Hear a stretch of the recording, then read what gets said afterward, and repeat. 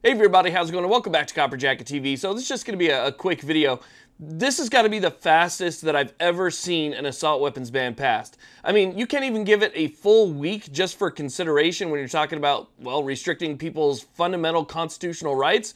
Well, apparently not, because we're talking about passed in the House, passed in the Senate, sent up to the governor's desk, and signed merely hours after, finishing the entire process in less than a week. Let's talk about it.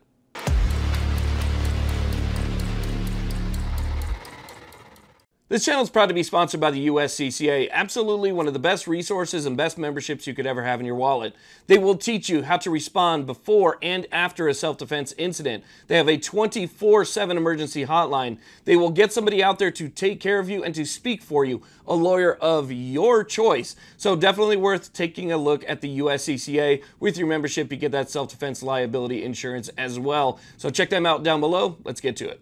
So if you ever needed proof that J.B. Pritzker and the Democrats of Illinois absolutely could care less about your fundamental constitutionally protected Second Amendment rights, look no further than this video, because I have a timeline here that proves it. It shows that there is very little, if any, actual debate on the topic. So if we take a look back at Friday, just this recent Friday, that's when the House passed Illinois' so-called assault weapons ban. It also does a lot more, so it's a pretty significant bill. It bans magazines that can hold more than 10 rounds, it introduces registration, uh, it raises the age limit for your FOID card to 21, and so forth. So there, there's a lot going on here. It's a pretty significant bill. You think this would actually take some time? There would be pretty heated and massive debate, and we wouldn't see anything for a while. But no, it goes to the Senate, the Senate amends it, and passes it just that following Monday by afternoon. So just over the weekend, it goes from being passed in the House to being passed in the Senate. How long do you think it took before Pritzker signed it? Yeah, just later that night. That same night, Pritzker signs the bill. So in a matter of just the weekend, from Friday to Monday, we have bans, registration, and all sorts of new rules, regulations, and laws that infringe on people's Second Amendment rights. That is extremely fast. It allowed for almost no debate and just shows you it's all about the agenda. It's not about the facts and what this is actually going to do, which is basically just hurt the law abiding. So obviously there's going to be a slew of lawsuits on this one, and then rightly so now that it's been signed by the governor.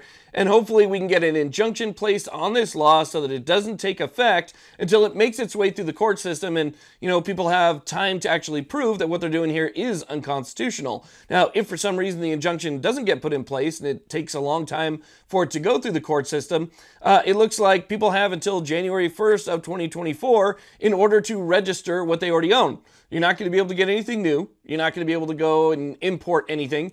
All that stuff is going to be off the table. So it's basically just a complete ban unless you already own it. And then again, until you have until January 1st to register what you already own. So again, hopefully we can get an injunction in place here and just put an absolute stop to this madness. Again, the ninth state in the United States to do this.